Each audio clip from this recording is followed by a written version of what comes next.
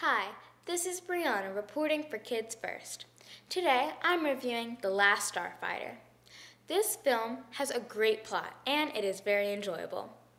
Alex, played by Lance Guest, loves to play the video game Starfighter. One night he beats the game's record and becomes a starfighter. Later that night he is taken into the universe to beat enemy forces. In a battle, he quickly becomes the last starfighter, and he is now in a war against the most powerful villain. I really like The Last Starfighter because of its plot. I've never really seen it before, and it really keeps my interest. This film is older, and so is the cinematography, so it is not that much up to date. My favorite character is Maggie, played by Catherine Stewart. I really like seeing her great facial expressions. A message in this film is that anything is possible and anything can happen. I recommend The Last Starfighter for ages 7 to 14. Younger ages may be a little scared. People who love sci fi, this is your film.